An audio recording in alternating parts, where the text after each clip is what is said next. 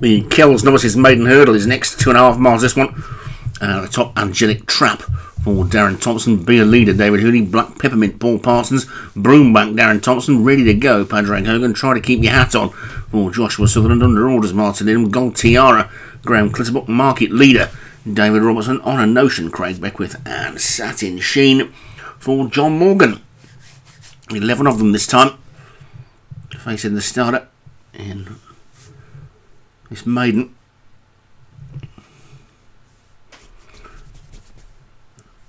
And away they go. I'm surprised to see some of the big names in this when it's a maiden race as they make their way down to the first of the 12 flights. Shows you how competitive the National Hunt season's been so far when you've got Darren Thompson and Joshua Sutherland in a maiden race in week 7 and David Hooley as well, who's the king of the hurdlers. and they all safely over the first and heading down to the second. And it's Under Orders who's got the lead. Under Orders in the lead then from On a Notion, and then try and keep your hat on. And Black Peppermint after that one. They've just been shuffling around trying to settle themselves down, with the exception of this leader Under Orders, who's clear by four or five. On a Notion has now moved through in a second for Craig Beckwith in the royal blue with the white sleeves, but they're still pretty tightly packed behind this leader. The race is downhill towards flight number three with two miles still to go. Skips over that one nicely from try to keep your hat on the outside of Black Peppermint, then Satin Sheen and Market Lead looking towards the back. Broombank is just a back marker. In fact, Darren Thompson's two are the back two as they take the fourth. With under orders continuing to show the way in front from Black Peppermint in second, and then try and keep your hat on. He's back in third. Then Satin Sheen and Market Leaders after that one. Gold Tiara on a Notion and Angelic Trap. The leader has been given an easy lead by the rest of them. I'm happy to let it bowl along in front.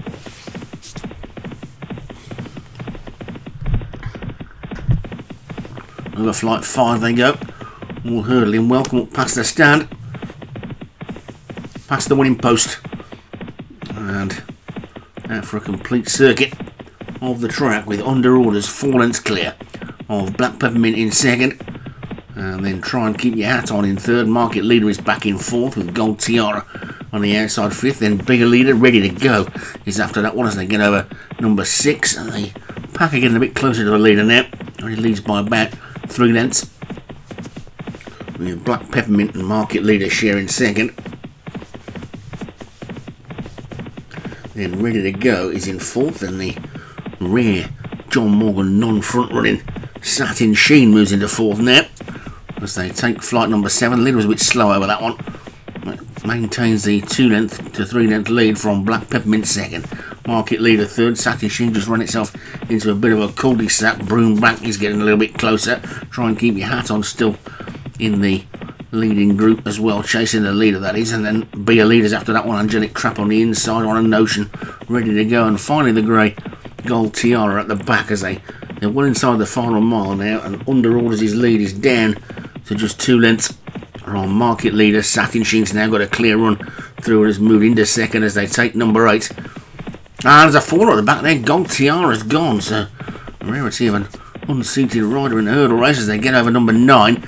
Under orders is being pushed along to maintain this lead. Satin Sheen looks to be going much better in second. Try and keep your hat on. He's now making a move on the outside in third. Angelic Trap is now the one that's got itself trapped in on the inside. Stablemate Broomy Bank is also running straight into a cul-de-sac as well. Market leader, be a leader on a notion, all being pulled a little bit wide. Black Peppermint has dropped out of it and ready to go.